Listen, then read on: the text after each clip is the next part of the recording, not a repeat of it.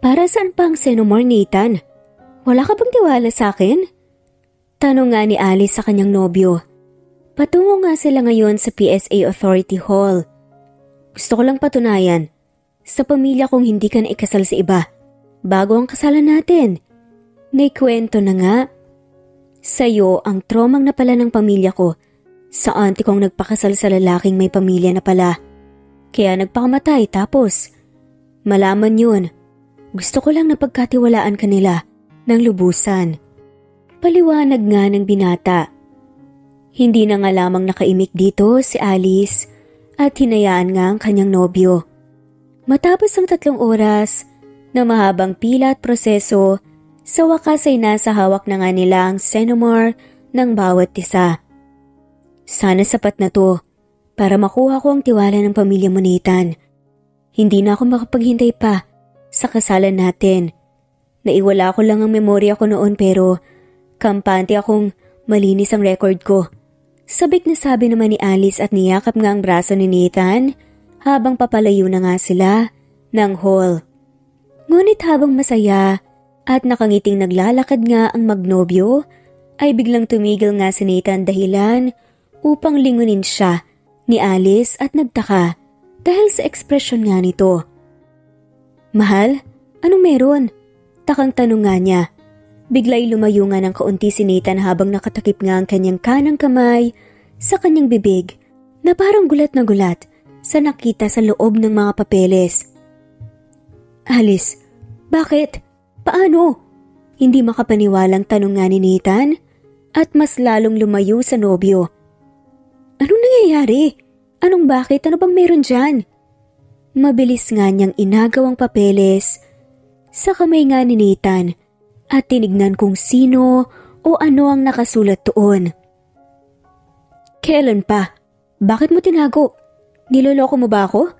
Biglay tanong nga ng lalaki sa kanya. Mahal, baka mali lang to. Babalik ako sa loob at sasabihin sa kanilang malito. Mahal, teka lang. Hintayin mo naman ako. Nagpapanik nga niyang sinabi at dali-daling pumasok muli sa loob ng hall. Ma'am, nagkakamali po kayo. Hindi po totoo to. Hindi pa po ako kasal. Reklamo nga niya at halos basagin nga ang salaming nakaharang sa loob. Ma'am, ikinasal ka na po noong Disyembre ng ikapito. Apat taon na po ang nakalipas. Hinding-hindi po kami mag iimbento ng Senomar sa kung sino. Kung hindi niyo pumama sa main, eh umalis na lang po muna kayo dahil may mga nakalinya pa. Sagot ng staff sa kanya at pilit naman siyang inagawan nga ng pila ng babaeng nakasunod sa kanya. Nagkakamali kayo. Bulong pa nga nito pagkatapos ay unti-unti na nga lamang na nandilim ang kanyang paningin. Lumabas siya ng hall upang kausapin si Nathan ngunit wala na nga ito sa labas. Kahit pagod, hinanap pa rin niya kung saan nagpunta si Nathan. Kailangan niyang kausapin ito at ipaliwanag ang lahat. Hindi niya rin alam na kasal na pala siya at hindi niya alam kung paano nangyari yun. Nathan, sagutin mo please. May iiyak na ngang sabi nga nito habang nasa terrace nga ng kanilang bahay.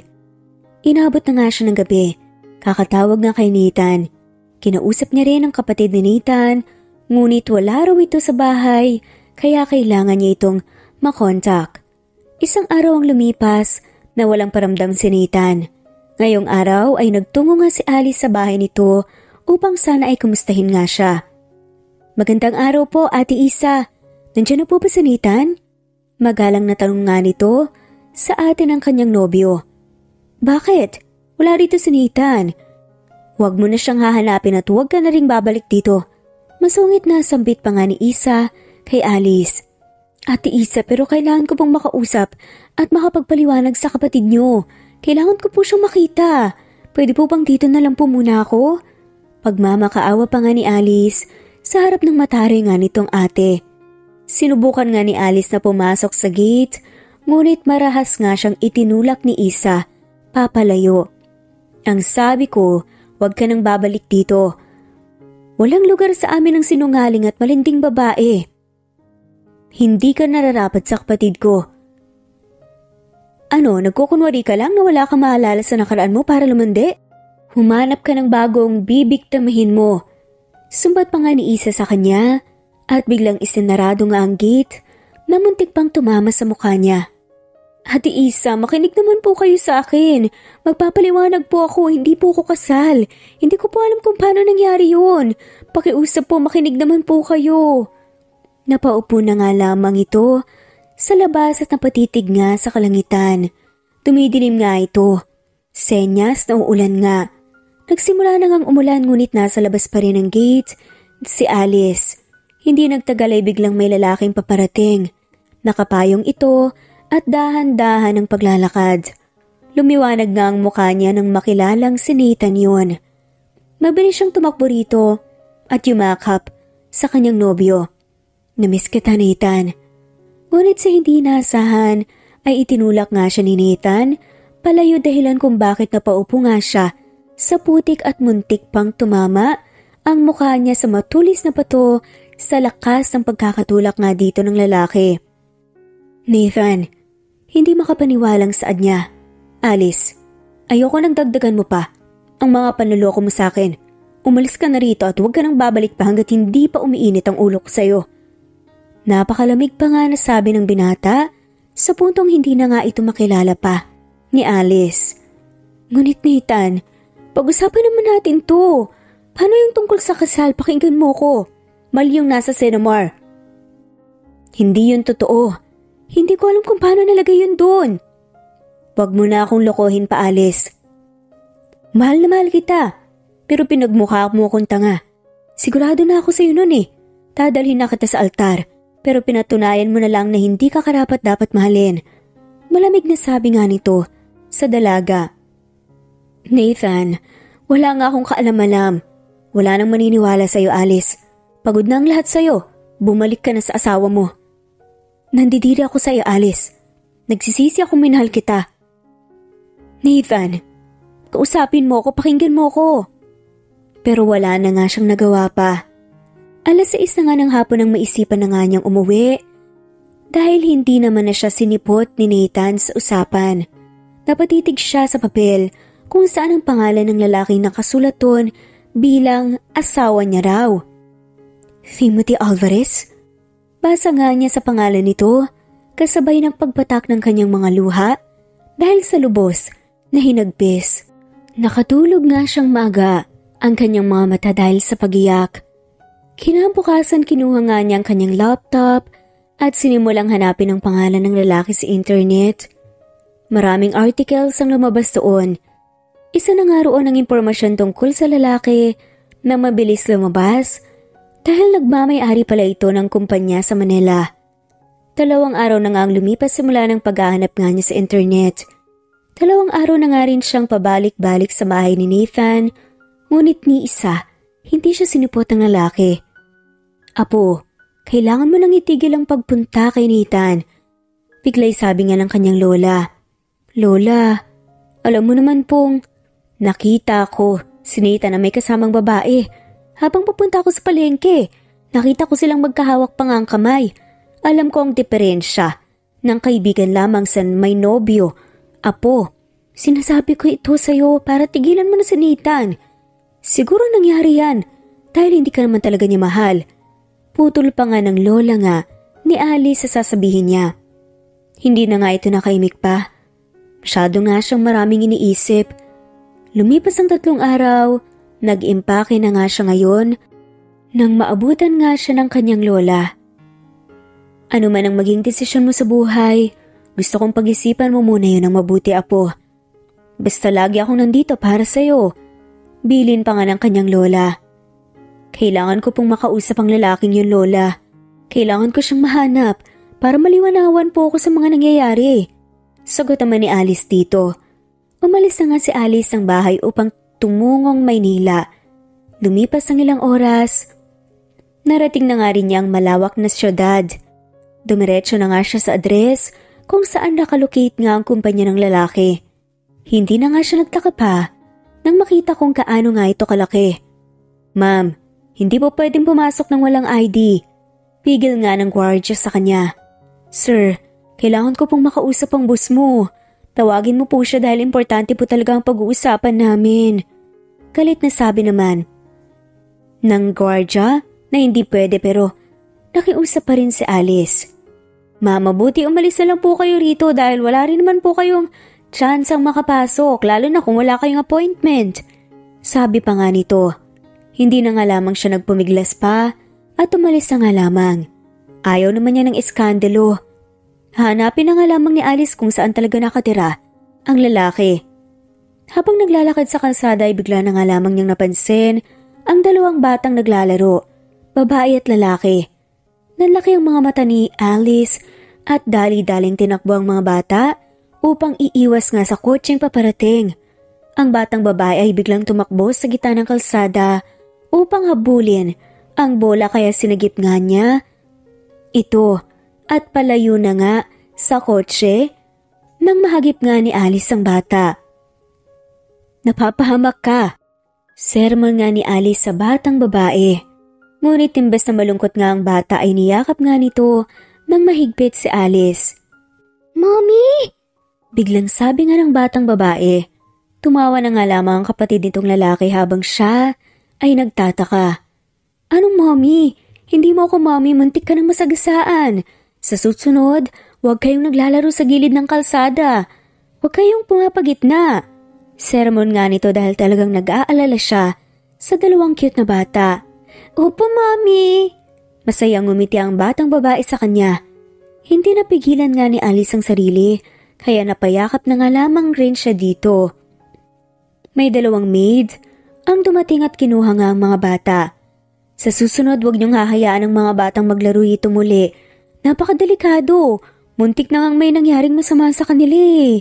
Sabi nga niya sa dalawang katulong. Eh pasensya na po, tumatakas po kasi itong dalawang to eh. Makukulit po. Sagot naman ng mas matandang maid. Teka lang, may tatanong pala ako sa inyo. Kilala niyo ba to? Inilabas nga ni Alice ang litratong nakuha nga niya sa internet. Ay nako, si Sir Teo po oo, kilala po namin siya. Saad naman ng isang maid. Nakahinga nga ng maluwag sa Alice nang malaman kung saan nakatira si Timothy. Nasa harapan na nga siya ngayon ng malawak at kulay gintong mansyon. Inabot nga siya ng gabi bago makarating dito dahil nahirapan nga siya na hanapin ito. Isang maid ang nagbukas nga ng gate para sa kanya. Kailangan kong makausap si Timothy. Sabi nga niya rito, pinatuloy naman din siya ng katulong ng makitang asawa siya ng amo nito base sa nakasulat sa papel. Pagpasok sa loob ay nakita nga niyang matangkad at mukhang modelong lalaki. Nakaupo ito sa sofa at nagbabasa ng newspaper. Mabilis niya itong nilapitan. Ikaw ba si Timothy Alvarez? Seryosong tanong nga ni Alice. Kamukhang kamukha nito ang nasa litrato, ngunit mas gwapo pa nga ito sa personal. Biglay isinalampak nga niya ang papel ng kontrata sa harap ng lamesang kinauupuan niya. Anong ibig sabihin nito? Ikaw bang may kagagawa nito? Iniwan. At hindi lang naman ako pinakasalan ng boyfriend ko dahil sa kawalang hiyang ginawa mo. Galit na sabi pa nga ni Alice sa walang kamongmang na lalaki. Dahang-dahang ibinaba naman ni Teo ang newspaper na nasa kamay at umupong mabuti. Natawa na nga lamang siya matapos makita ang kontrata. Tinignan niya si Alice mula paa hanggang ulo. Kailangan mo ba ng pera? Magkano kailangan mo? Nakangising tanong pa nga nito. Hindi ko kailangan ng pera mo, Timothy. Kailangan ko magpaliwanag ka kung anong nangyari. Magpaliwanag ka. Kay Nathan, sabihin mo na ikaw ang may kagagawa nito. Nagmukha akong sinungaling sa harap nila. Kung wala ka ng kailangan at hindi mo kailangan ng pera, pwes umalis ka na.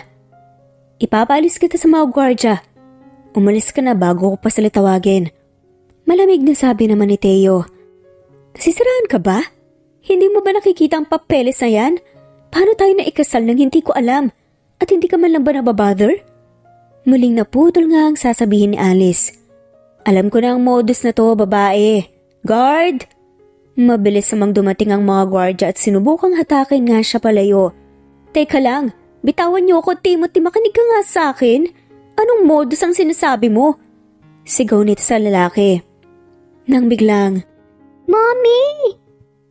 Mabilis na tumakbo nga ang batang babaeng sinagip niya. Kanina, Natigilan ng mga gwardya sa pagpapalabas nga kay Alice, lalo nang makitang takbuhin ng batang babae si Alice at niyakap nga ito ng mahigpit na parang ayaw pakawalan.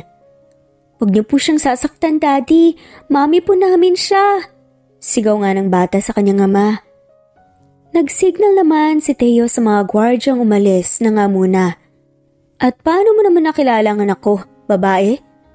Tinitigan nga siya ni Teo na mukhang pinagbibintangan pa nga ito sa krimen. Daddy, gusto ko pong dito lang siya. Sasama po ako sa kanya kapag pinaalis niyo po siya.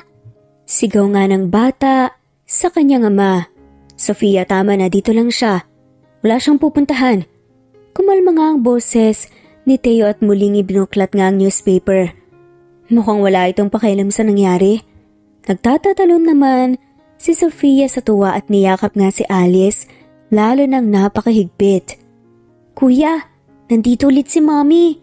Bigla'y tumakbo nga ng mabilis si Sofia papasok nga ng kwarto habang tinatawag ang kanyang kuya.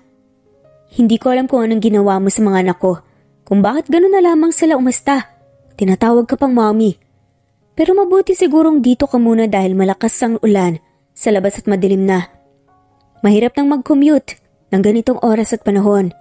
Sabi nga ni Teo, tinawag nga nito ang isa sa kanyang mga katulong at sinabihan nga siyang ayusin ang isang kwartong tutulugan nga ni Alice.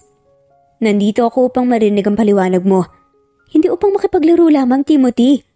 Ano pang ibig sabihin ito? Pwede bang huwag mo na akong takasan pa?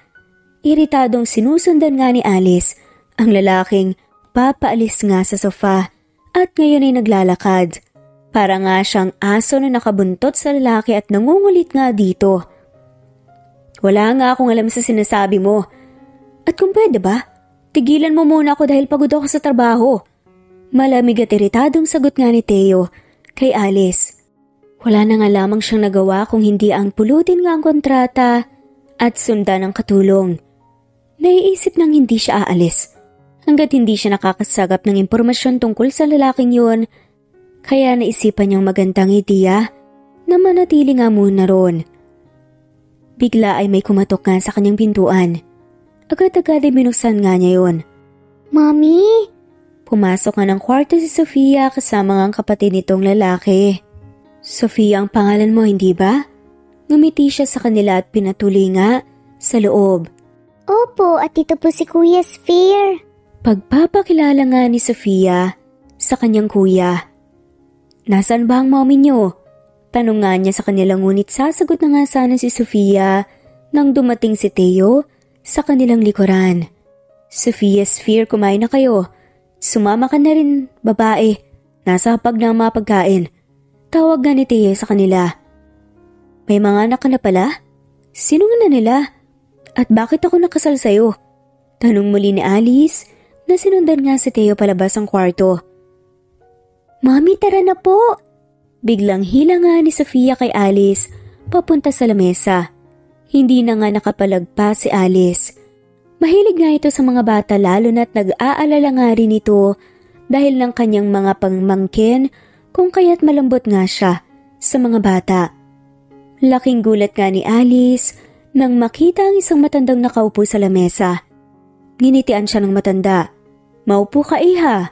Sabi nga nito na parang wala lang sa kanyang may estranghero silang kasama. Sinabihan kang maupo. Iritadong sabi naman ni Teo. Dahilan kaya naupo na nga lamang ng mabilis si Alice. Ang dalawang bata ay umupo na nga sa kanyang tabi na parang sabik na sabik nga itong makasama siya. Hindi niyo po ba tatanungin kung bakit nandito ako? Takang tanong nga ni Alice sa matanda. Pero parang may kakaibang ngiti ito. Ikaw ba nga po ni Rosenda? Tanong nga nito kay Alice na tinutukoy nga ang kanyang lola. Ah, opo. Paano niyo po nakilala ang lola ko? Mas lalong nangunot ang kanyang noo. Bigla'y tumigil ang matanda sa pagkain at may inilabas na nga na litrato at ipinakita nga ito kay Alice. Gulat naman si Alice nang makita nga rito ang itsura ng kanyang lola noong kabataan niya. Ito po si Lola. Saan niyo po ito nakuha? Tanong nga ni Alice sa matanda. Kaibigan ko si Rosenda sa kolehiyo. Magkakilala kami matagal na. Huwag kang magalala. Alam niyang nandito ka. Sinabihan ko siyang itrato ka namin ng mabuti. Welcome ka rito. Ngumiti nga ito. Inilabas naman ni Alice ang kontrata na nagsasaad nga na kasal na nga sila ni Teo. Gusto ko pong malaman, ano pong ibig sabihin nito? Mas maiging ang lola mo ang tanungin mo tungkol dyan. Ayokong sa akin magmula ang lahat. Pero kumain ka na lamang muna. Sabi nga rito ng matanda. Paano po ako makakakain ng mabuti? E pagkatapos ko makita ng mga to, sabi po dito kasal na po ako eh, hindi ko man lang po nalalaman. Eh wala naman po atang nakakakalma dun eh. Pigil na pigil nga si Alice na wag sigawa ng matanda. Walang sumagot kay Alice lahat ay kumakain na nga lamang ng tahimik.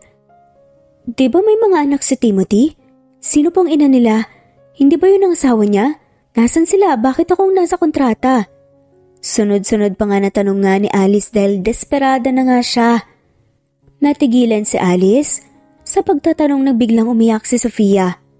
Pati si Sphere parang nawalan din ng gana sa pagkain. Mabilis na nilingon nga sila ni Alice na nag-alala. Sofia, bakit anong mali? Kagad na tanong nga ni Alice sa bata. Kayo po ang mommy namin, hindi ba? Eh bakit pa sabi niyo asan yung mommy namin? Ayaw mo po ba sa akin? Umiiyak nga na sabi ng bata. Napatingin naman si Alice kay Teo at sinamaan ito ng tingin. Tumayo si Teo sa kanyang upuan at nilapitan nga ang anak. Sofia anak, baka inaantok ka na. Dadalhin kita sa kwarto mo.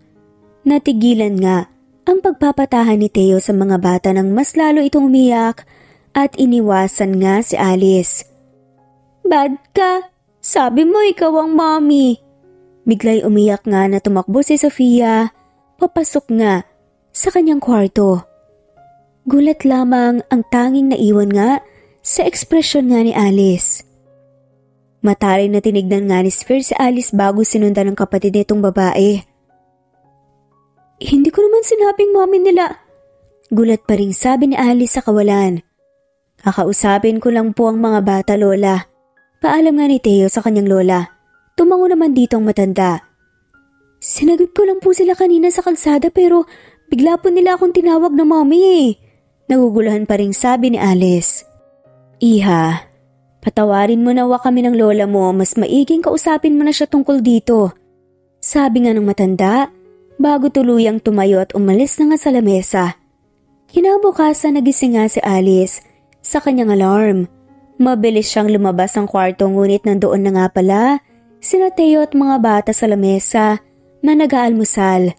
Iha, kumain ka muna. Tumabi ka rito. Sabi nga ng matanda. Kinawa naman niya ni Alice. Pagpasensyahan mo na ang mga bata kagabi. Alam ko masyado nilang hinahanap ang mami nila. Hindi magawang tumingin ni Teo kay Alice. Nagmamadali nga itong tumayo at mabilis na umalis. Pagkatapos silang kumain, ay aalis na nga dapat si Alice upang umuwi, ngunit bigla nga niyang nakasalubong ang kanyang lola. Lola, ano pong ginagawa niyo rito?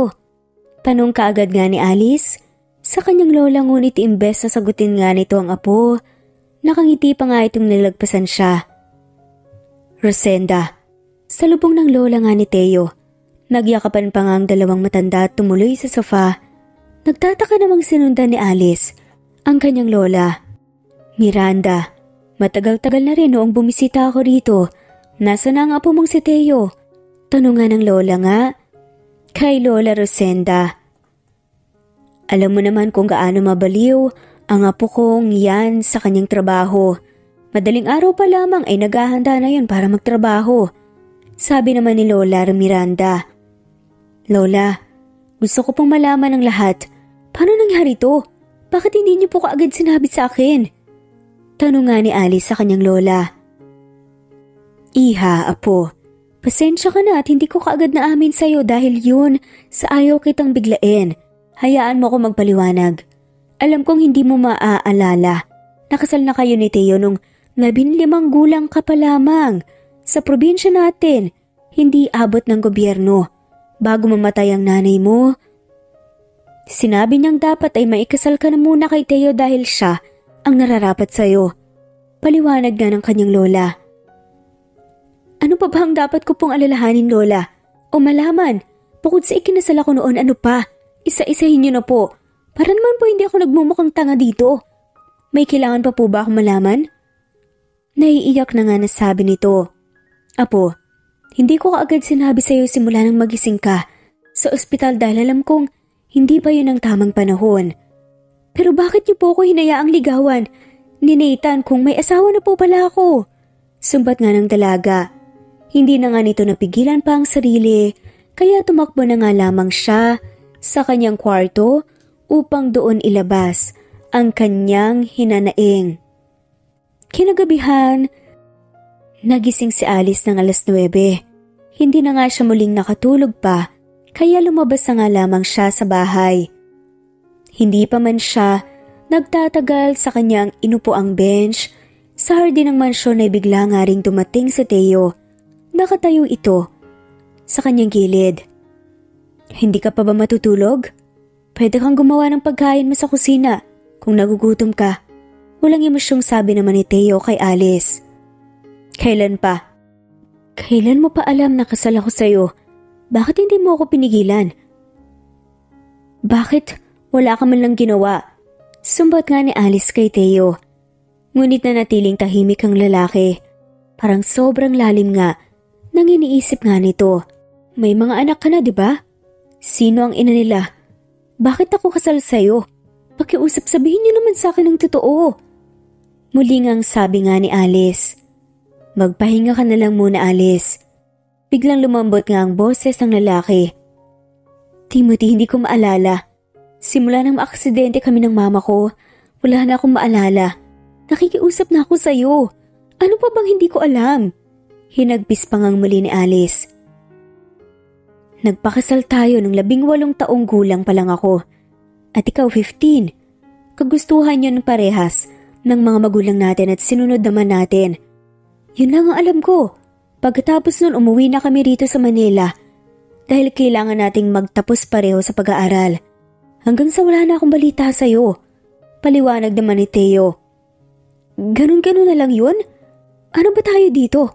Naglalaro? So all this time nagsisinungaling lang pala talaga ako kay Nathan. May asawa pala talaga ako? Hindi pa tayo pwedeng mag-file ng divorce paper? Annulment! Desperada na nga nasabi ni Alice.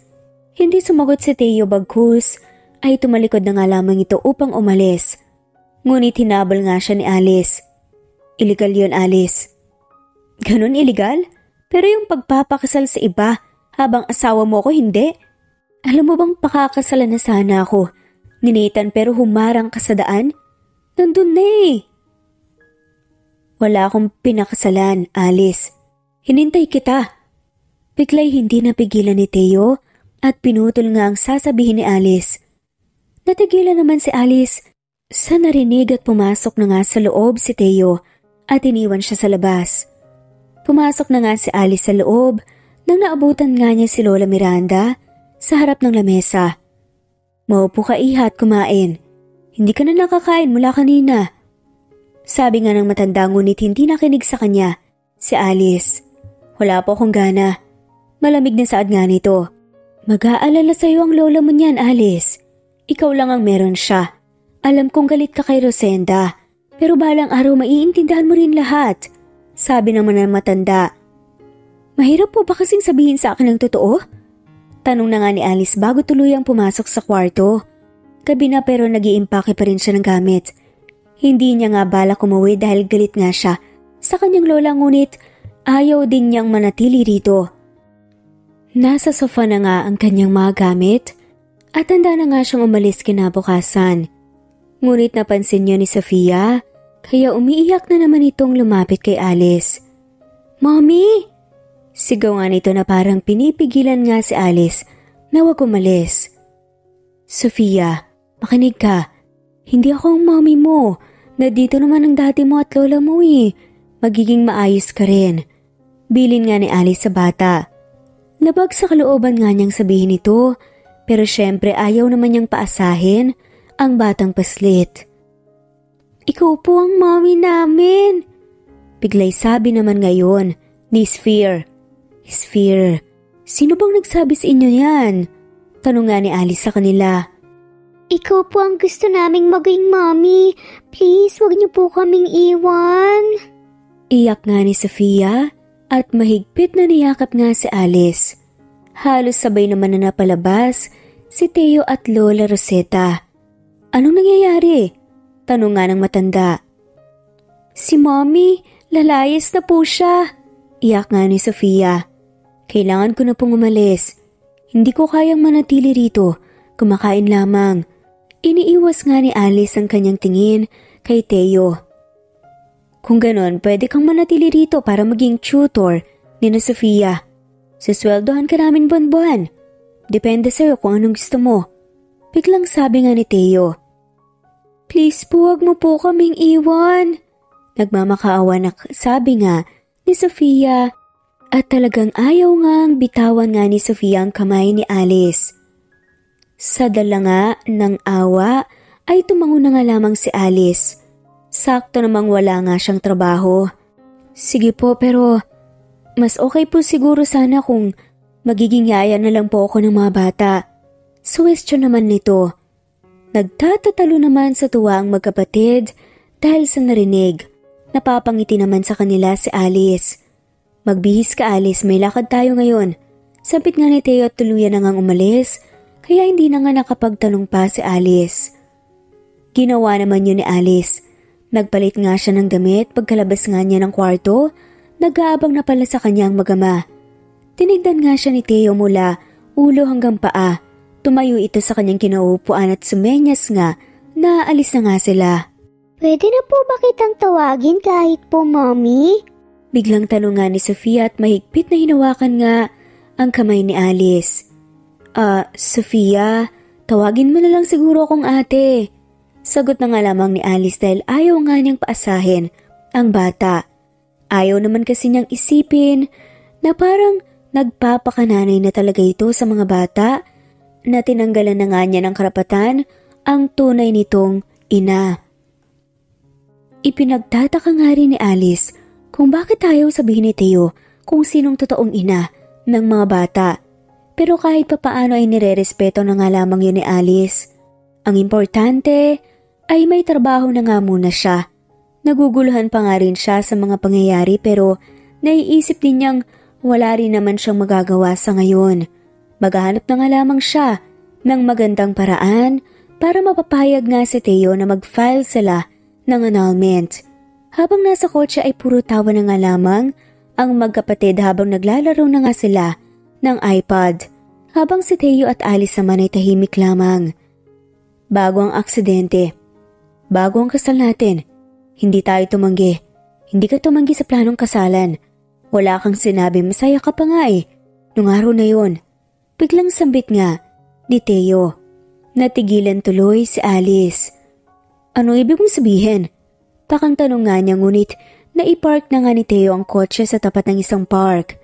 Masayang bumaba nga ang mga bata na parang pamilyar na pamilyar nga sa kanila ang lugar na yon. Isang field na may maraming bench at maginhawang simoy ng hangin. Halatang dito marami ang mga pamilyang nagpipiknik. Ate, maglaro po tayo ng saranggola. Si Sphere naman ngayon ang nagaya kay Alice at nilahad pa nga ang saranggola. Nakangiti namang tinanggap yun ni Alice. Si Teo ang may hawak nga at tumatakbo palayo upang paliparin nga ang kite. Napatitig na nga lamang si Alice sa lalaki. Hindi niya maintindihan kung bakit kakaiba ang nararamdaman niya palagi sa lalaking to na parang kilalang kilala nga niya ito. Nang makalayo na nga si Teo, ay saka na nga binitawan nga ni Alice ang saranggola upang lumipad yun. Masayang masaya naman ang dalawang bata habang pinapanood nga ang saranggola sa taas. Umupo na nga lamang si Alice sa bench upang panoorin sila. Hindi nga katagalan, bumalik si Teo at lumapit na nga sa kanya. Sabay nilang pinapanood ang magkapatid na masayang naglalaro. Yung sinabi mo kanina, anong ibig mong sabihin? Hindi pa pwedeng trechuhin mo na lang ako? Ba't pa ang dami niyo pang paligoy-ligoy? Mahirap ba talagang sabihin sa akin ang katotohanan? Tanong nga ni Alice sa lalaki. Kung ano man ang sinabi ko kanina, yun na yun. Huwag mo nang alamin pa. Hindi ka naman interesado eh. Malamig na sabi nga ni Theo na para bang may hinanakit pa nga. Timothy, anong hindi ako interesado? Hinanap nga kita para malinawan ako eh. Hindi ko naalala ang ibang nangyari noong labing anim na taong gulang pa lamang ako dahil sa aksidente. Bakit ba ang hilig niyong pagmukain akong ewan? Sumbat nga muli ni Alice. Ibibigay ko ang gusto mong divorce para mawala na nga ang pangalan ko sa record mo. Pero hindi sa ngayon. Gusto kong kahit isang buwan lang. Tumuli ka sa akin para sa mga anak ko. Nagagalak ako tuwing nakikita ko silang masaya sa'yo. Nilingon nga siya ni Theo Ngunit hindi maipaliwanag ni Alice kung bakit parang kakaiba sa mga titig na yon ni Theo. Parang may matang nanghihinayang nga at nagsisi. Magtatanong pa nga sana si Alice, ngunit tumayo nga si Theo at tinawag nga ang mga bata. Dinala sila ni Theo sa isang restaurant. Ni isa ay hindi nagawang magtanong nga ni Alice dahil hindi siya binibigyan nga ni Theo ng tsansa. Gabi na at bumalik na nga sila sa mansyon. Tumulong na nga si Alice sa gawaing bahay dahil nabalita na nga niya na umuwi pa lang probinsya ang isa nilang katulong. Habang naglilinis nga si Alice sa kwarto ni Teo, ay bigla niyang napansin ang pamilyar na litrato dito. Agad-agad, nanilipitan nga niya ito at tinignang mabuti. Bakit nandito ang litrato ko? Nagugulat na tanong nga ni Alice. Dali-dali ay kinuha nga niya ang kanyang cellphone at tinignan niya ang kanyang litrato. Noong bata pa nga siya. Napatakip nga ng bibig si Alice nang ma-realize na siya ang nasa litrato. Bigla ay bumukas nga ang pintuan at tiniluwal nga noon si Teo na may hawak na bote ng alak at baso. Walang salisalita ay biglang inagaw nga ni Teo ang litratong hawak ni Alice at ibinalik nga ito sa kung saan nga niya nakuha. Naamoy niya si Teo amoy alak. Naglasing ka ba? Tanong nga ni Alice kay Teo. Anong ginagawa mo rito? Lasing na tanong nga ng lalaki. Parang matutumba na nga ito, kaya mabilis na inagaw nga ni Alice ang bote ng alak at ang baso at agad nga na ibinaba ito. Naglilinis na ako. Nabalitaan ko kasing umalis daw ang naglilinis sa kwarto mo kaya ako nang naglinis. Total, nag-apply naman ako dito bilang kasambahay, ba? Maraming kalat. Paliwanag pa nga nito. Tinulungan nga niya si Teo maupo. Pagkaupo nito sa couch ay napasandal na nga ito. Aalis na sana si Alice ngunit napatigil nga ito nang biglang magsalita ang lalaki. Hindi mo ba maalala kung gaano tayo kasaya pareho nung araw ng kasal natin? Biglang sabi nga ni Teo. Napalingon naman at napatigil nga si Alice. Lumapit sa kanya si Alice at naupo sa kama. Wala akong maalala. Sagot nga nito. Ang saya pa nga natin nun eh. Parehas tayong pumili ng gown mo at venue. Kahit hindi pwede, nagawan pa rin natin ang paraan. Nangako tayo sa isa't isa, nahihintayin mo ako pagbalik roon. Pero bakit pagbalik ko, ipinagtabuyan mo na lang ako na parang hindi mo na ako kilala. Napakaseryoso nga ng boses ito habang nakapikit nga ang kanyang mga mata. Naguguluhan siyang tinignan ni Alice. Yan ba talagang nangyari? Pagbalik ko, may pinakilala ka ng biglang nobyo mo. Ipinaglaban kita. Hindi mo ba naalala? Nung niligawan pa kita, makuha lang muli ang loob mo pero natakot ka lang at mas lalo akong kinamuhian. Kinailangan kong bumalik dito dahil may trabaho ako. Pero hindi kita sinukuan, Alice. Hindi kita sinukuan. At hinintay pa nga kita. May mga luha na nga ngayong lumalabas sa mga mata ni Teo. Natahimik nga si Alice. Naalala nga niyang may maniligaw nga siya noon ngunit ipinagtabuyan lamang niya dahil mas mahal nga niya ang isa. Yon ang pinaniniwalaan niya. Timothy, ano ba tayo dati? Kinakabahang tanong nga ni Alice. Iminulat nga ni Teo ang kanyang mga mata sa kangumising humarap nga kay Alice. Tinitigan nga niya si Alice ng may puno ng admirasyon sa kanyang mga mata. Napaatras sa kama nang biglang ilapit nga ni Teo ang swivel chair sa kanya. Wala nang maatrasan pa si Alice kaya ilang inches na nga lamang ang layo ng mga mukha nila. Amoy na amoy nga ni Alice ang alak sa mukha nito. Aktong itutulak na nga niya si Teo ngunit bigla, hinila niya ito palapit at walang pasabi-sabing hinalikan nga si Alice. Sa gulat niya ay agad nga niyang naitulak si Teo at mabilis na sinampal. Natigilan si Alice nang tumawa lamang si Teo at mukhang wala nga lang sa kanya ngayon. Krimen na ba ngayon halikan ko ang asawa ko? Mas lalong naging malungkot ang boses nito. Ramdam ni Alice ang hinanakit na hindi naman niya naintindihan kung saan nagagaling. Wala nang sinabi pa si Alice sa tagad na nga itong umalis sa kwarto. Kinabukasan alimpungatan nga si Alice dahil sa kanyang panaginip. Paglabas niya sa kwarto ay nakahanda na palang mga pagkain at siya lang ang hinihintay doon. Iha maupo ka, sabi nga ni Lola, Miranda. Agad namang sumunod si Alice. Sa kwarto ka lang. Hindi ka naman talaga nandito dapat bilang katulong ko. Nagpumilit ka lang. Biglay sabi nga ni Teo. Nagtama ang mata nila. Hindi iniiwas ni Alice ang kanyang mamata, ngunit si Teo mukhang naging mailap. Hindi magawang sumagot ni Alice. Naalala niya ang panaginip niya kagabi. Lumipas nga ang dalawang oras at wala na nga si Teo dahil nagtrabaho na nga ito. Tinuruan lamang ni Alice ang mga bata bilang kanyang trabaho at naglinis na nga rin at naglaba. Ngunit naagaw nga ang at kanyang atensyon. Hindi niya maintindihan kung pamilyar ang mga gamit sa mga lamesa, lalo na sa punong umiilaw. Ang sabi po ni Daddy ay yung first love daw po niyang nagbigay nito. Biglang sabi nga ni Sphere, napansin siguro nitong nakatitig nga si Alice sa maliit na punong yon. Kilala mo ba kung sinong first love niya? Curious naman na tanong ni Alice. Ngumiti si Sphere at kinuha nga ang litrato ni Alice sa lamesa. Yung tinitignan niya kagabi. Ito po, sabi ni Sphere at binigay sa kanyang litrato. Parang may kung anong kirot na naramdaman si Alice nang makita itong mabuti. At ang punong umiilaw ang mga dahon. Napakapamilyar para sa kanya ang result ay hindi nakapag-focus nga si Alice. Masyadong naiistorbo ang kanyang pal-isipan. Sumapit ang las 9. Dumating nga si Teo at may dala nga itong pizza. Mabuti nga ay naabutan nga niya si Alice na nasa kwarto ng mga bata. Pinatulog niya ang mga to. Nagtama ang mga mata nila. Walang may gustong mag-iwas nga ng tingin, ngunit ang kanilang mga tingin ay may iba't ibang hangarin. Timothy, kailangan kitang makausap. Sabi nga ni Alice. Ngumiti lamang si Teo. Mukhang natutuwa pa nga ito. Palagi akong handa. Basta ikaw, saan mo ba gusto? Pwede sa kwarto ko. Pangasar pa nga ni Teo sa babae. Seryoso ako. Ulit nga ni Alice. Mabuti at nagdala ako ng paborito mo. Sa labas na lang tayo. Nagpamauna na ngang naglakad si Teo. Sinundan na nga lamang siya ni Alice.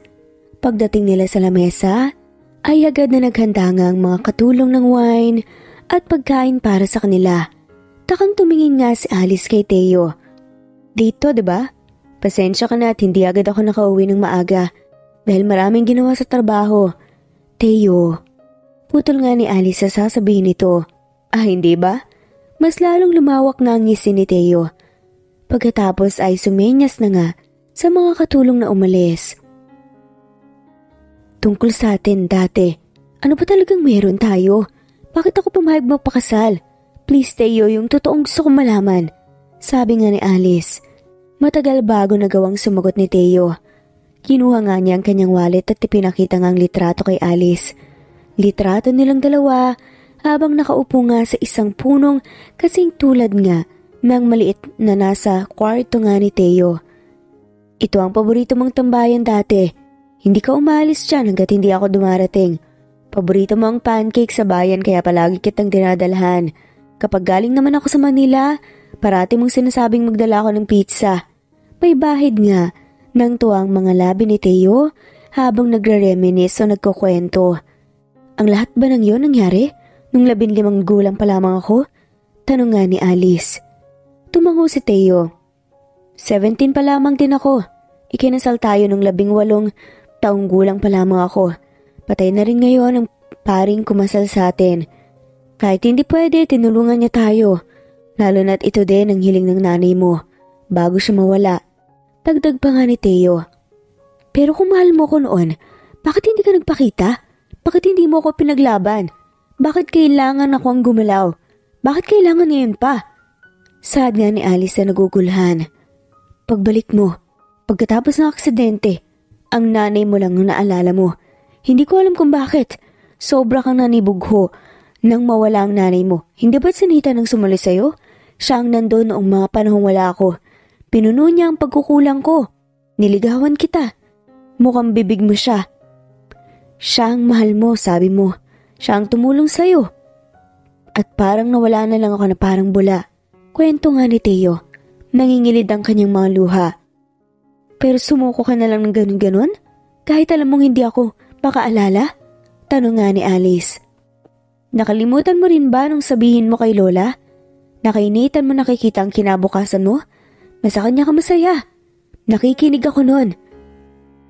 Ayoko namang maging makasarili at pilitin ka. Gusto ko kung saan ka talaga masaya. Sabi nga ni Teo at napainom ng alak. Hindi kagad nakapagsalita si Alice. Ang dibdib niya ay parang kinukurot nga sa sakit. Hindi niya maipaliwanag ang kanyang sarili. Nakatitig lamang si Alice kay Teo at hindi alam ang sasabihin. Masyado siyang natameme nang marinig ang lahat ng yun.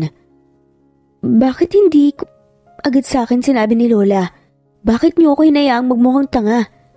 Tanong nga ni Alice. Dahil walang may gustong umagaw sa masayang nararamdaman mo. Walang may gustong umagaw sa kalayaan mo. Walang may gustong wasakin ka ulit. Madamdaming saad nga ni Teo. Pero ginawa niya pa rin. Hindi mapigilan ni Alice sumigaw. Hindi nito napigilan ng sarili. Tumakbo na nga siya papasok sa kanyang kwarto. Doon na nga lamang inilabas ang lahat ng sakit na kanyang nadarama. Habang nasa gitna nga siya ng pagiyak, nakarinig siya ng katok sa pintuan. Ngunit wala nga siyang balak na buksan sana yun. Alice, patawarin mo sana ako at bigyan mo ako ng iba pang pagkakataon para bumawi. Alam kong nahihirapan ka sa sitwasyon mo. Alice, tiniis kita. Tiniis kong hindi ka makausap at makita. Hindi mo alam kung gaano ako kagalak ngayong nandito ka. Poses nga yun ni Teo. Mukhang hindi maayos ang paraan ng pagsasalita nito. Hindi na nga siya sinagot pa ni Alice. Lasing ang boses nito, kaya ayaw niyang maniwala. Naiisip niyang baka dala lamang ito ng kalasingan niya. Kinabukasan katulad ng dati, paglabas nga ni Alice ay handa na nga ang mga pagkain. Hindi pa man nakakapagsalita si Lola Miranda upang tawagin siya ay kusa na nga lamang siyang umupo. Mugto ang kanyang mga mata mula sa pagiyak. Yun marahil ang dahilan kung bakit nakatitig nga ang matagal sa kanya si Teo. Huwag ka nang maglilinis pang muli rito. Magpahinga ka lamang. Biglang sabi nga ni Teo. Hindi ko masisikmurang kumain dito kung hindi ko yun pagtatrabahuan. Sagot nga niya. Asawa kita Alice. Dapat ay umakto ka ng ganun. Mas lalo siyang pinagdiinan ni Teo ng titig. Asawa? Daddy, asawa mo po si Ate Alice. Kung ganun, pwede na po namin siyang tawaging mommy? Biglang tanong nga ni Sphere. Natigilan nga silang lahat sa lamesa. Sphere Sofia mga apo, mas mabuti siguro kung sa kwarto na muna kayo kumain patapos na rin ako. Sabi nga ni Lola Miranda. Inutusan niya ang isang katulong na dalhin nga mga pagkain ng mga bata sa kanilang kwarto. Naiwan nga si Alice at Teo sa lamesa. Magharap pa naman ang kanilang posisyon. Katulad ng sinabi mo noon, tuturuan ko pa rin ang mga bata. Aalagaan ko pa rin sila bilang yaya at gagawin ang obligasyon ko rito. Walang problema sa akin maging katulong. Isa pa may deal naman tayo. Magfa-file tayo ng annulment. Mananatili ako rito para sa sweldo at sa mga bata. Pagkatapos ng agreement natin, aalis na rin ako. Sabi pa nga ni Alice. Alice, sinabi ko lang yon dahil, dahil yun lang magpapatigil sa'yo sa pagalis. Ayoko pang umalis ka. Hindi ka pa rin ba naniniwala sa akin? Puno ng sinsero nga ang boses ni Teo dahilan upang mapalingon nga ito sa kanya. Pero gulong-gulo pa rin si Alice dahil wala naman talaga siyang maalala. Hindi ko alam. Kung ganon, Paghihirapan kitang muli.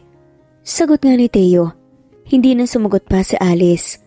Pagkatapos ng kanilang almusal, Kinuha nga ni Alice ang plato at inilagay nga sa sink. Nangaktong kukunin na nga niyang iba pang narito, hinawakan ni Teo ang kanyang kamay upang pigilan ito. Huwag mo nang gawin to. Hindi mo naman kailangang maging katulong dito. Timothy, pinagmumukha mo kung walang silbing asawa. Hindi ka dapat nagtatrabaho, magpahinga ka. Kung may gusto ka, sabihin mo lang. Sad pa nga ni Teo. Kung ganon, gusto ko ng perlas. Yung literal.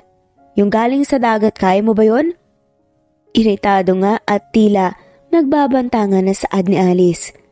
Napangisi naman si Teo tumango. Maaga akong uwi ngayon. Magpahinga ka at huwag mong papagurin ang sarili mo. Bigla ay tumayo nga ito at hinalikan siya sa pisngi. Sobrang bilis ang pangyayari na hindi man lamang niya nagawang mag-react. Nang magising na nga siya ay nakaalis na nga si Teo sa kanyang harapan. Natapos nga si Alice sa pagtuturo sa mga bata. Alas 10 na nga ng gabi Ngunit wala pa rin si Teo. Kasalukuyan muli nga siyang nasa loob ng kwarto ng mga bata dahil pinatulog niya ang mga to. Paulit-ulit ang paglingon niya sa bintana ngunit wala pa rin si Teo at nakaramdam siya ng pag-aalala. Habang naghihintay nga, ay hindi na malaya ni Alice na nakatulog na pala siya sa sofa. Nagising na nga lamang siya nang maramdamang may nakatitig nga sa kanya. Pagbukas niya ng mata, nakita nga niya si Teo na nakangiti Timothy! Agad na napabangon nga siya mula sa pagkakahiga dahil sa gulat. Dahan-dahan namang lumayo si Teo at biglang may iniabot nga sa kanyang bulaklak. Para sa'yo, nakangiting sabi pa nga ni Teo. Nagtataka namang nilingon nga ni Alice ang rosas, may iyon. Sa gitnaan may isang kulay puting maliit na box. Teka, para saan to? Tanong nga ni Alice.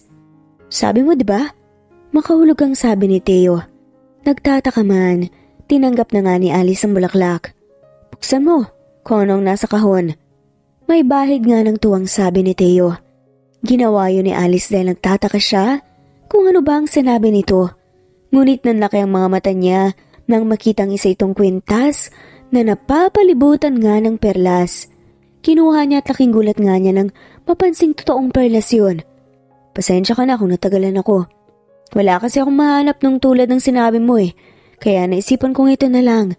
Seryosong sabi niya ni Teo. Timothy, hindi ko matatanggap to.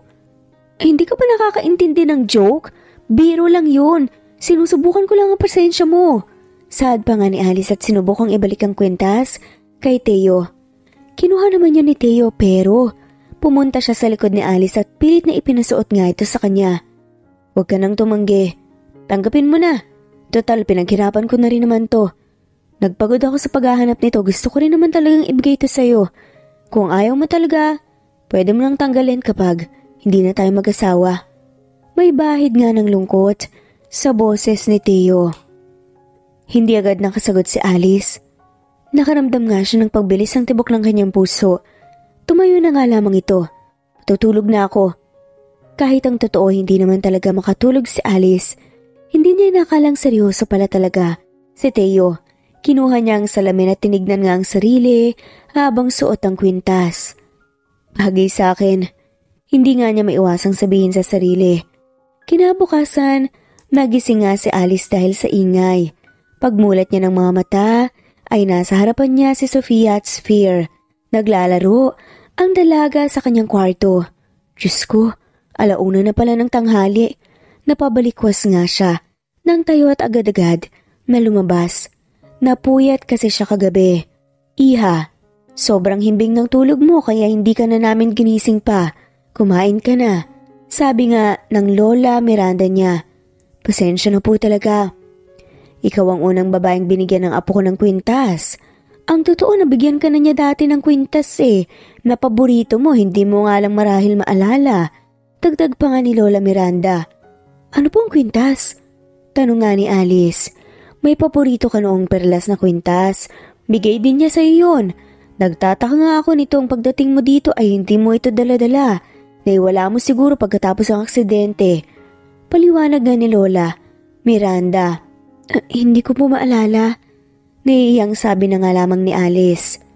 Nang biglang, Ate Alice, Sabi po ni Daddy para sa'yo daw po ito. Hindi ka daw po kasi nagising kanina eh, kaya iniwan na lang daw po niya.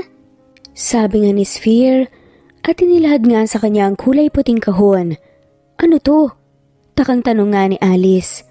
Nang buksan nga niya, nakita nga niya ang pamilyar na bracelet. Laking gulat nga niya nang makita rin ng isang iPhone. Binuksan niya ang iPhone pagkita niya sa wallpaper noon Nagulat silang makitang litrato nga niya yun, kasama si Teo. Nakaupo silang dalawa sa isang bench habang parehong may hawak na ice cream. Nahihilo ako, biglang sabi nga ni Alice. Parang naalala niyang nangyari sumasakit ang ulo niya. Alice, huwag mong pilitin ang sarili mo. Baka kung ano pang mangyari sa'yo. Magpahinga ka na lang, sabi nga ni Lola Miranda. Ate Alice, Diba po asawa ka po ni daddy pero bakit hindi po ikaw ang mommy namin? Hindi po pwedeng ikaw na lang po? Pagmamakaawa nga ni Sphere. Hindi alam ni Alice ang sasabihin. Bigla na lamang siyang lumabas ng mansyon. Taladala ang cellphone ay naglakad na nga lamang siya papalayo. Nais niyang mapag-isa muna kaya siya umalis. Nakakalayo na nga siya. Biglang bumuhos nga ang malakas na ulan. Walang naging choice si Alice kung di ang manatili muna sa isang waiting shed. Binuksan niya ang cellphone. Bigla'y parang may kung anong kirot. Ang nararamdaman niya nang makita ang mas marami pang litrato nila ni Teo. Tama nga ang sinasabi ni Teo. May relasyon sila dati. Kahit sa araw ng kasal nila, ay nasa litrato din. Napakasaya naman nilang pareho at mukhang hindi naman pinilit. Masyado nang ang nilalamig si Alice Alas 6 na nga ito ng hapon. Napakadilim ng panahon dahil sa ulan. Yakap-yakap niya ang sarili sa lamig at hindi alam ang gagawin.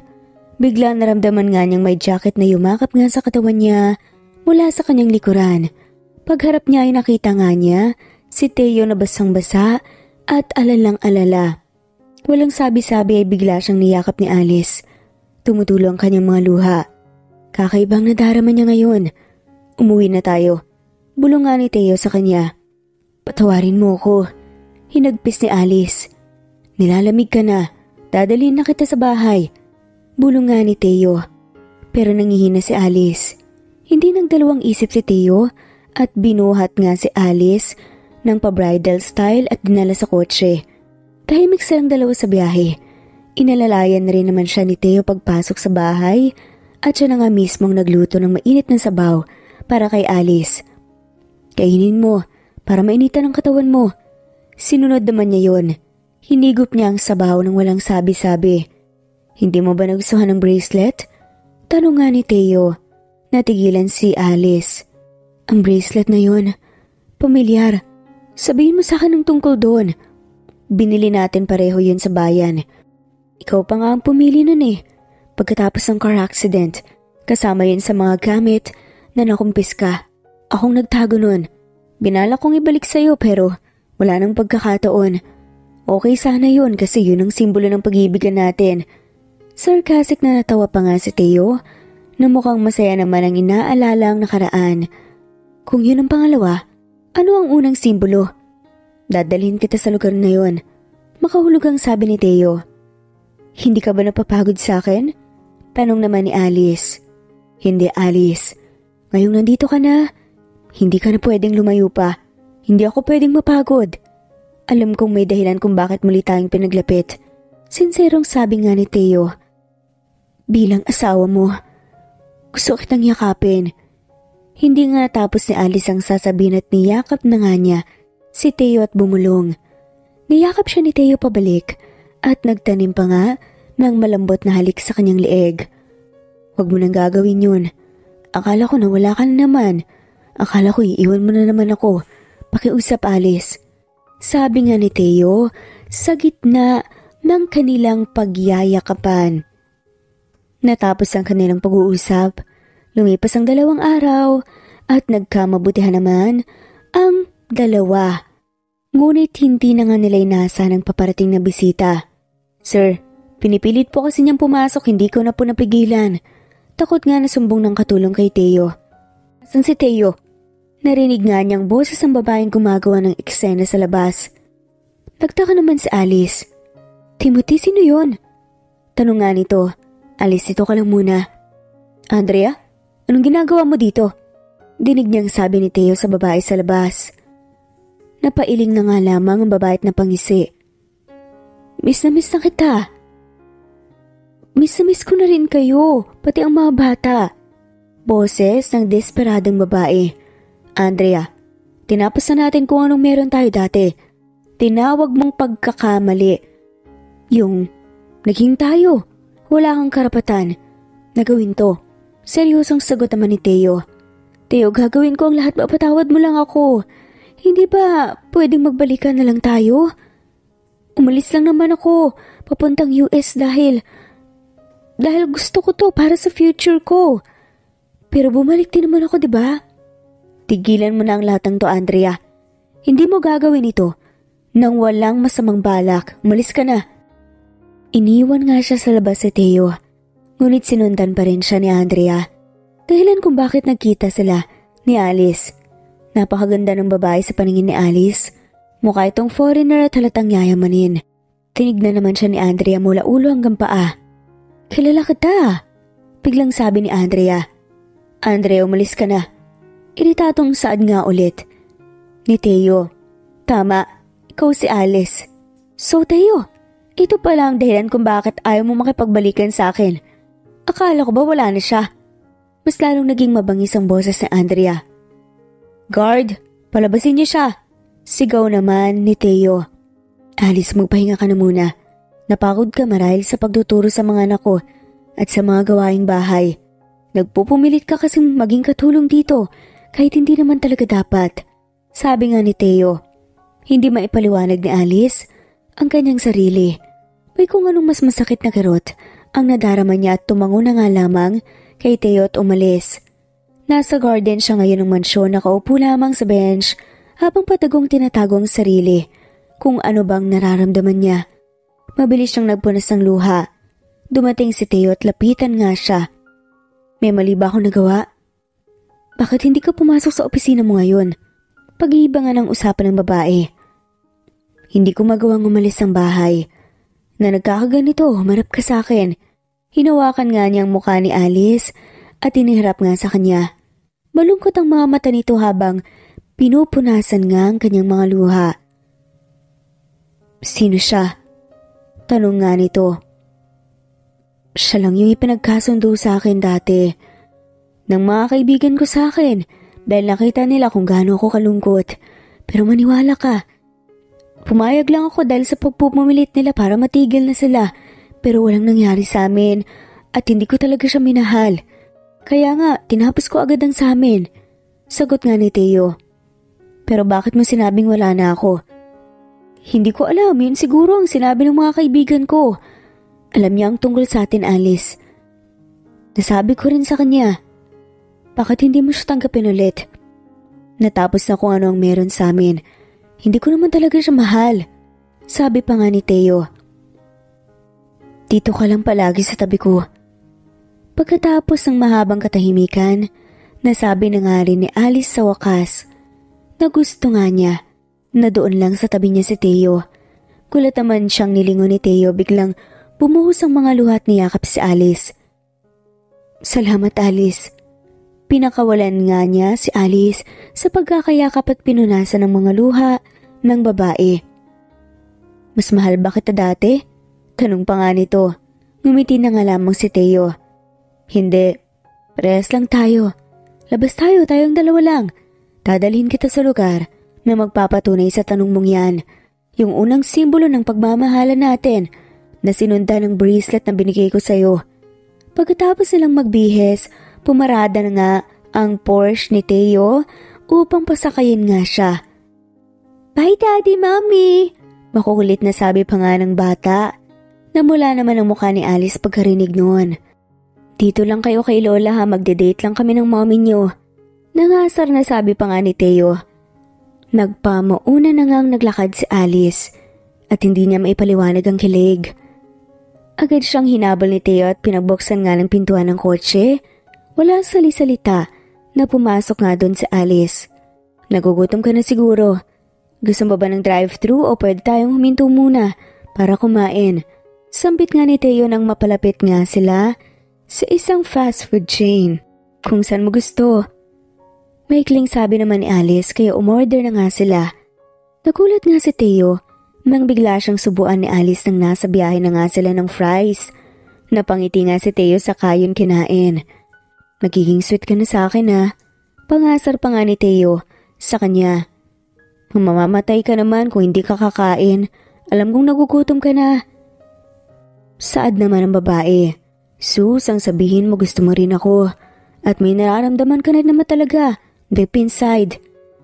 Pangasar nga ni Theo sabay tumawa.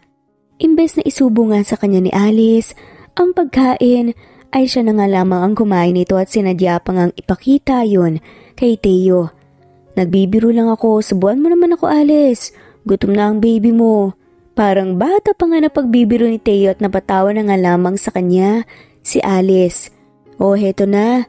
Pero imbes na isubo nga niya ito, sa kanyang labi ay inilayo pa nga niya upang asarin ngayon ng lalaki. Lumalaban ka na ha. Umanda ka sa akin mamaya. Panakot pa nga ni Teo. Sus, hanggang saan kaya ang kaya mo? Hamon nga ni Alice. Binilisan nga ni Teo ang pagdadrive dahilan kung bakit napakrus na nga lamang si Alice sa takot. Humagalpak na nga lamang sa tawa si Theo na mukhang tuwang-tuwa pa nga. Theo, tama na natatakot ako. Biglang sigaw nga ni Alice at para siyang nahihilo habang may kakaibang memoryang pumunta sa kanyang alaala. Katulad nga ng senaryong ito ang napakabilis din ng takbo ng kotse, parang wala sa sarili nga ang driver na sinasakyan. Truck! Sigaw nga ng kanyang ina Ngunit ihuli na nga ang lahat nang tumama nga ang kotseng sinasakyan nila. Tumigil nga si Teo sa pagpapatakbo ng kotse dahil nakita nga niya na parang iba na ang inaakto ni Alice. Alice, I'm sorry. Saad na nga lamang nito at hinawakan pa ang magkabilang pisngi ng babae. Teo, tara na. Huwag mo nang ihinto ang kotse. Sabi na nga lamang ni Alice sa kabila nga ng pagkahilo at pagpasok muli ng memorya. Sigurado ka ba? Hindi sumagot si Alice. Dala ng kanyang pagkahilo ay hindi na malayan nga na nakatulog na nga si Alice. Pagmulat nga niya ng mata nakita na nga lamang niya na nakapatong na nga sa kanya ang jacket ni Theo dahil malamig nga ang temperatura. Nandito na tayo. Dahan-dahang binuksan nga niyang pintuan ng kotse. Tumambad ang isang napakagandang view ng syudad kasabay ng paglubog ng araw. Ang ganda, Teo. Namamanghang sabi pa nga ni Alice. Mas lumayo pa nga siya upang tignang mabuti ang view. Ipinikit niya ang mga mata at sininghap ang sariwang hangin. Pagmulat nga niya ng kanyang mga mata, naramdaman nga niyang may yumakap nga sa kanya patalikod. Ang tagal ko nang gustong gawin ulit to, kasama ka Alice. Salamat at tinupad mo na ang kahilingan kong iyon. Sabit nga ni Teo at nakayap ka pa rin sa kanya. Ikaw ang nagdala sa akin dito at tumupad nun, Teo. Ako dapat ang magpapasalamat dahil ipinakita mo to sa akin eh. Sagot pa nga niya. Pinakawalan nga siya ni Teo mula sa pagkakayakap at may kinuha nga sandali. Pagbalik niya ay daladala nga niyang mga pagkain, ang isang mat, may bitbit nga rin itong gitara. At sobra nga ang nakikiusap na mga mata niya. Unang-una ikaw ang nagsabi sa akin sa lugar na to. Ikaw ang unang tadala sa akin dito. Sagot nga ni Teo pagkatapos ayusin ang kanilang upuan.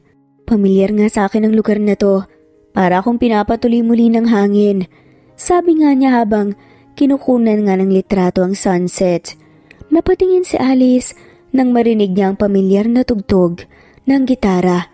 Ang instrumentong yun sa kantang Born For You kaya mo bang tugtugin ulit yun? Tanong nga ni Teo at binigay nga sa kanya ang gitara. Pamilyar, ikaw din ang nagtutugtog sa akin yan. Tuwing nandito tayo. Ako ang tagapakinig kung may mali ba sa tugtog mo. Ang sabi mo sa akin dati, pangarap mong maging isang professional na guitarist. Kwento nga ni Teo. Nakukuha ko ba ang tono? Tanong pa nga niya.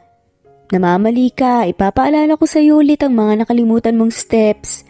Sabi nga ni Teo at sinimulan na nga niyang hawakan ng kamay ni Alice para gabayan nga ito sa pagtugtog.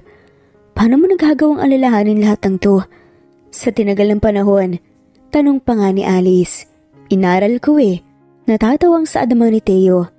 Nagtagal pa ang kanilang usapan hanggat sa hindi na pala nila namamalayang tuluyan ng lumubog ang araw kaya ang tanging buwan at ang mga ilaw sa syudad ang kanilang gabay upang makakita. Napakaganda ng view. Napanaginipan kong lugar na to isang gabi. Kasama kita habang parehas tayong naglalaro ng habul-habulan. Kwento pa nga ni Alice. Alice, totoong nangyari yun. Halos araw-araw nandito tayo. Paborito mo tong tambayan pagkatapos ng klase mo. Kwento nga ni Teo. Talaga? Napakasaya siguro ng buhay natin dati. Dito ko ipinangako sa iyong pakakasalan kita at magiging tayo ng panghabang buhay. Ito ang sinabi mo dati na unang simbolo ng pagmamahalan natin. Ipinangako mo rin sa akin dito na kahit anong mangyari ay palagi mo akong pipiliin. Dito natin ipinangako sa isa't isa ang lahat. Katulad ng ganitong panahon, madilim tayong dalawa lang habang malamig ang panahon. Kwento nga ni Teo. Pasensya ka na kung hindi ako tumupad sa usapan. Sagot nga niya. Mahal na mahal kita Alice. Kahit sa ang lupalop ka pa talaga, malagay sa mundo ay babawiin kita. Kahit sino pang umangkin sa'yo. Itong lugar na to, ang saksi ng pangako natin sa isa't isa. Pinangahawakan ko yun Alice hanggang ngayon. Bigla ay parang nahilo nga si Alice. Narinig niya nga sa kanyang memorya ang pagtatawanan nila ni Teo. Narito sila noon sa lugar na to. Anong nangyayari? Ayos ka lang ba? Nag-aalalang tanong nga ni Teo. Nahihilo ako. Sabi nga niya at pilit na pinalakas nga ang loob. Naalala niya ang paglalaro nila ni Teo. Ang pagpapalipad nila ng saranggola at pagpapadala nga ng pagkain ng matatamis nilang tawanan at ang kanilang pangako sa isa't isa. Umuwi na tayo. Walang sabi-sabi ay binuhat nga siya ni Teo papunta sa sakyan. Ayos lang ako Teo. Naalala ko lang ang lahat ng mga sinasabi mo kasabay ng pagkahilo. Sambit nga nito. Gusto mo ba silang alalahanin pa? Tanong nga ni Teo. Naniniwala na ako sa iyo. Ang puso kong nagsasabing meron nga tayong ganong relasyon. Umalis na nga silang dalawa sa lugar at bumalik nga sa mansyon. Humupa lang pagkahilo nga niya kaya maayos nga silang nakarating. Ngunit ipinagtaka nilang dalawa nang mapansin na kabukas ang ilaw sa kwarto ng mga bata. Dapat tulog na nga sila ngayon. Hinindi ka siguro ng mga anak mo. Sambit nga ni Alice. Tumango lamang si Teo at tumuloy na nga sila sa loob. Sabay nilang tinignan ng mga bata ngunit laking gulat nga nila nang makitang nandoon nga si Andrea. At binabasahan nga ako noon ng kwento ang mga bata. Andrea, anong ginagawa mo dito? Iritadong boses nga ni Teo. Pinapasahan ko ng kwento ang mga anak mo dahil hindi sila makatulog. Tinanggalan mo na ng karapatan ng sarili mong gawin yan dati pa. Naghiwalay na tayo. Iritadong sabi nga ni Teo. Teo, nagbabago na ako, okay? I'm sorry. Patawarin mo na ako. Diba dati nagpakananay naman ako sa kanila? Ilang beses ko ba dapat na ipaintindi na hindi ka nila nanay? Galit nga na sabi ni Teo. Pumuhos nga ang luha ni Andrea at walang sabi-sabing umalis na nga lamang. Nagkatinginan sa na Teo at Alice pagkatapos niyang umalis. Matutulog na ako. Mapait na ngiting sabi na nga lamang ni Alice, ngunit bago pa man siya makaalis bigla siyang hinila ni Teo at hinalikan sa labi ng mabilisan. Good night. Sabi pa nga ni Teo pagkatapos ay pinalaya na nga siya. Matagal bago nga niya na prosesong nangyari. Sa huli nakatulog na nga rin siya nang nakangiti. Kinabukasan isinama nga ni Teo sa kanyang opisina kasama si Sphere at Sofia. Balak nga nilang mag-shopping ngayong araw, ngunit may importante nga silang nadaanan sa opisina ni Teo. Abala siya sa pagkahumaling sa interior ng opisina. Masyadong masarap sa mata kaya hindi na napigilang mapahawak sa mga painting sa pader. Hindi nakakapagtakang unang beses lang makakakita ng painting ang isang gaya mong galing sa kahirapan. Nagulat nga siya nang marinig ang pamilyar na boses na nanggaling sa pintuan. Andrea, anong ginagawa mo dito? Takang tanong niya. Dahan-dahan siyang napaatras. Nang dahan-dahan ding lumalapit nga sa kanya si Andrea. Ang lakas naman ng loob mong itanong sa akin yan. Pagkatapos mong landiin ulit si Teo? Pagkatapos mo siyang saktan tapos lalandiin mo siya? Ang akala mo ba, hindi sinasabi sa akin ng mga kasama mong katulong lahat? Ang kapal na mukha mo. Andrea, unang-una wala akong inagaw sa'yo. Si Teo ang nagsabing hindi na kayo. Nire-respeto kita bilang kagaya kong isang babae. Pero wag mo akong sagarin. Kasal kayo noon pero ngayon lang, ikaw dumating? Pagkatapos mo siyang iwan at pagtulakan, palayo, pabalik ka? Ano para saan? Para sa pera? Wala akong inagaw Andrea at hindi ko hinahabol ang pera niya. Kung patuloy mong babastusin ang pagkatao ko ay tuluyan na talaga akong mawawala ng respeto sa'yo. At lagot ka talaga sa akin. Inis at palaban na nga nasabi ni Andrea. Ikaw pa talagang may ganang mawala ng respeto sa akin. Kita mo na ngang hindi mo na deserve kung ano man ang pinapakita ni Thea sa'yo. Alin bang hindi mo maintindihan doon? Susuguri na nga sana ni Andrea si Alice ang biglang, Stop! Naiiyak na sabi ni Sphere. Sphere, umalis ka sa harapan ko kung ayaw mong saktan kita. Pati si Sphere pinag-inita na nga ni Andrea. Andrea, paano mo nagagawang sabihin yan sa bata? Wala kang pakialam doon. Alisin mo na ang batang yan sa harapan ko. Kung hindi, matutuluyan ka talaga sa akin. Sad pa nga nito. Tita Andrea, umalis ka na po dito. Ayaw na po namin sa inyo. Total, andito naman na po si Mommy. Sigaw pa nga ni Sofia. Ayaw niyo pala sa akin ah? Ah, itong malanding nanay niyo ang gusto niyo. Inis na sabi nga ni Andrea at hinila nga ang buhok ni Alice. Sophia Sphere, umalis na muna kayo dito. Sabi na nga lamang ni Alice dahil mas iniisip niya ang mga nakikita ng bata. Hindi ka po namin iiwan. Umiiyak na sabi ni Sofia. Hindi magawang lumaban ni Alice dahil mas nag-aalala siya sa mga bata. Pilit niya silang inilalayo habang nakayakap nga sila sa kanya.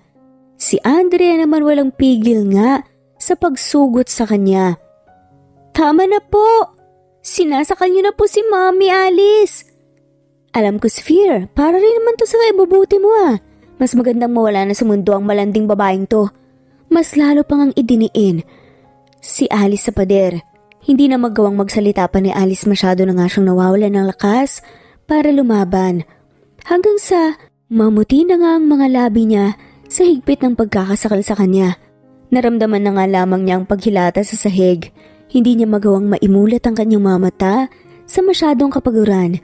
Ang sumunod na nga lamang sa kanyang narinig ay ang yapak ng sapatos na paparating at ang umiiyak na boses nila Sophia at Sphere. Dahan-dahang iminulat na Alice ang kanyang mga mata. Purong mapuputing pader at may dextrose nga siyang katabi. Lumingon siya sa gilid at tuon nakita si Teo. Alice, kasing ka na pala. Maayos ba ang pakiramdam mo? Tatawag ako ng nurse. Aligag ang sabi nga ni Teo sa kalumabas nga ng kwarto para tumawag ng nurse. Pagkatapos nga siyang resetahan ng nurse ng gamot at umalis ay bigla na nga lamang siyang mahigpit na niyakap ni Teo. Akala ko mawawala ka sa akin ulit. Sorry, sorry kung hindi ko naagapan. Sinserong sabi ni Teo habang yakap-yakap siya. Teo, ilang araw ba ako nandito masakit ang ulo ko? Kumawala si Teo sa pagkakayakap sa kanya, tsaka siya tinignan ng mata sa mata. Dalawang araw ka lang nakatulog sabi ng doktor. Na-trigger lang ang amnesia mo dahil sa insidente. Sobrang natakot ako Alice, akala ko makakalimutan mo na ako. Hindi kita makakalimutan muli Teo. Huwag kang magalala. Tumatawang sagot nga niya. Kinuha niya ang kanyang mga kamay at paulit-ulit itong hinalikan. Hinding hindi na makakalapit sa iyo pa si Andrea. Isinumbong ni Lola mga, sa mga pulis ang nakuhana ng CCTV na muntik ka na nga niyang patayan paniguradong hindi na yun babalik pa. Lumipas ang ilang araw at nakaalis na nga sila ng ospital. Magaling na nga rin si Alice dahil bumalik nga ang dating sigla nito. May handaan nga sa malawak na lamesa dahil sa kanyang paggaling at pagbalik. Maging ang Lola Rosendang nito ay nandoon nga. Mabuti naman at nagkakamabutihan kayong mag-asawa ulit sabi nga ng kanyang lola. Nahihiya namang napatingin si Alice kay Teo. Gumisi lamang si Teo. Marahil nakalimutan mo na kung gaano mo habulin noon si Teo pero ngayon, siya na ang mamatay-matay kahabol sa'yo. Tumatawang biro pa nga ni Lola Miranda. Lola, pigil nga ni Teo. Namula na nga ang kanyang mga tenga sa hiya. Ano Rosenda, ilang apo pa ba ang gusto mo bukod kina Spirit Sofia? Tumatawang tanong nga ni Miranda. Kaya ba nila ng walo? Eh gusto ko walo eh. Saad pa nga ni Rosenda. Lola naman. Nakasimangot naman na sabi nga ni Alice. Muntikan pa nga siyang mabilaukan at nagsitawanan na nga lamang sila sa lamesa. Mommy, I want seven brothers. Sabi naman ni Sphere sa kanya. Magiging ate na ako! Napapalakpak na saad naman ni Sofia sa tuwa. Hindi magawang magsalita ni Alice dahil sa hiya. Nag-iwas nga siya ng tingin sa mga to at tinuloy na nga lamang ang pagkain. Kukunin ko lamang mga inumin. Swerte mo talaga apo kay Teo.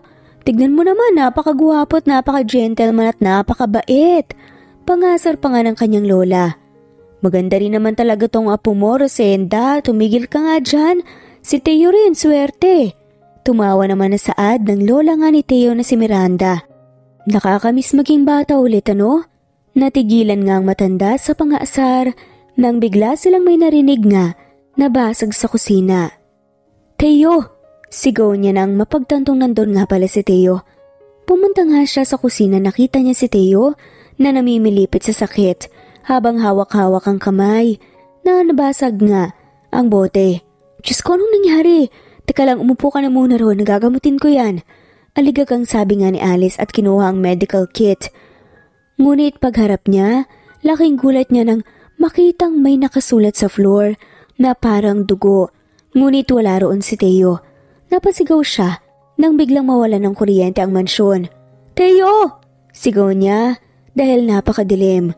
Ang kaninang may sulat na will you be my wife ay nasindihan na ng maliliit na kandila. Napakabilis ang pangyayari. Meron na nga ito ngayon. Mga bulaklak. Naghalo-halo ang kanyang emosyon. Pagkagulat, pagtataka at may bahid nga ng tuwa. Teo, nanlambot tuloy ang kanyang boses. Paglingon niya sa sala, kung saan may ilaw din ay nakita nga niya roon ang litrato nilang dalawa ni Teo Nung araw ng kasal nila, pati na rin nung araw, nabuntis nga siya at araw nga na ipinanganganak nga niya sina Sphere at Sofia. Hindi niya maintindihan kung bakit sobrang bilis na nga lamang pumatak ang kanyang mga luha. Nakapout pa nga siya. Ngayon, nakasuot siya ng maputing gown at napakabata nga ng mukha niya. Sa gilid ay si Teo nakasuot ng puting white suit. Ipapaalala ko sa iyo, ang nakalimutan mong sumpaan natin at ang isa sa mga masasayang araw ng buhay natin nang ipinanganak mo nga ang mga anak natin. Oo, ikaw ang ina nila Sofia at Sphere. Ayoko lang na. Magulat ka. Ayokong biglain ka. Tumugtog na nga ang instrumento ng kanta ni Daniel Padilla habang sinasabi nga ni Teo ang mga gusto niyang sabihin sa babae. Sumunod ang litrato nilang dalawa na nakahawak nga silang pareho ng gitara habang nasa lugar kung saan siya dinala ni Teo noong nakaraang araw. Parehas silang nakangiti habang naggigitara. Ako'y sa'yo at ikaw ay akin lamang. Pagkabanggit no ni Teo, ay biglang mas maraming ilaw ang umandar. May malaking flash ng screen sa pader kung saan nakasulat ang Will You Be My Wife Teo, paano ang sugat mo? Sigaw nga nito. Bigla ay umilaw nga sa may likuran niya. Nandun nga si Teo na maayos na ang katawan at walang bahid nga ng sugat. Nagpalit na nga rin pala ito ng damit. Napakagwapo nga ng mukha nito. May hawak itong malaking bouquet ng bulaklak. Dahan-dahang lumapit nga siya kay Alice. Ikaw lamang ang tanging makakagamot ng sugat ko, Alice. Mahal mahal kita. Bulungan ni Teo ngunit sapat upang marinig niya. Nilapitan nga siya ni Alice, ngunit tumatras nga si Teo at biglang lumuhod. Kasabay noon ay ang paglipat nga ng kulay ng ilaw sa pink at at tanging tinatamaan lamang ng ilaw ay si Teo. Will you be my wife again? Nakikiusap nga ang mga mata nito. Pumuhos ang mga luha ni Alice. Hindi maipaliwanag nga ang sayang nadarama. Tumango ito ng dahan-dahan hanggang sa naging paulit-ulit na nga ito. Oo, Teo. Magiging asawa kita muli. Sagot nito. Napaluha si Teo at sinuot na nga ang kanyang singsing. Mabilis ay niyakap nga niya si Alice. Kasabay rin noon ay ang pagandar ng ilaw. Nakita niya ang lahat ng tao sa mansyon. Ang kanyang mga lola, sina Sphira at Sofia, ibang mga staff sa kumpanya at mga kaibigan nga niya sa probinsya. Lahat sila nakangiti at masaya silang binabati. Mas lalong napahigpit ang kanyang pagkakayakap kay Teo. Salamat. Bulong nga nito. Pinakawalan nga nilang isa't isa. Ilang di pa na nga lamang ang layo ng kanilang mukha sa isa't isa. Akala ko itutuloy mo talaga ang deal nating tatlong linggo. Kinabahan ako. Nagbibirong sabi ni Teo. Oo nga pala, pang tatlong linggo na ngayon. Hindi pa man niya natatapos ang sasabihin ay bigla na nga lamang siyang siniil ni Teo nang halik dahilan para matigilan siya. Suot mo na ang singsing, Alice. Wala ka na talagang takas. Maautoridad pa nga nasabi ni Teo. Ngumiti na nga lamang si Alice at ipinagpatuloy nga ang halik. Lumipas ang limang buwan, pinakasalan nga siyang muli ni Teo. Namuhay nga sila sa probinsya ni Alice para mamuhay doon ng tahimik at doon nga nila mas palalakihin ang kanilang pamilya. Doon na rin nag-aral ang mga anak nila na sila Sphira at Sofia kasama na nga rin nila doon. Ang kanilang mga lola. Kahit nga, ang daming pagsubok ang naranasan nila, na aksidente si Alice, nawalan nga ng alaala, akala nga nito ay ibang buhay nga ang buhay niya. Pinakawalan siya ni Teo at kung ano-ano pa, pero muli nga silang pinagtagpo dahil mahal talaga nila ang isa't isa sa kaibuturan ng kanilang puso at wala na ngang makakapaghiwalay pa sa kanila. Mas lalo na ngayon na mas pinapatatag nga sila ng Panginoon na sentro nga ng kanilang buhay. At dito na nga po nagtatapos ang kwentong pagmamahalan ni na Alice at Teo. Maraming maraming salamat po sa lahat ng mawalang sawang sumusubaybay at shoutout po sa mga sumusunod. Neva Fajardo, Austin Alito, Jerry Ramos, Presbyteros Rose, Chisa Dehino, Gloria Escobar, Gloria Sanchez, Lovina Galang, Anita Hernando, Emily Borak, Vivar Jenjen, Crystal, at shoutout na rin po sa lahat ng mawalang sawang sumusubaybay. Maraming maraming salamat po. Thanks for listening and God bless po sa ating lahat.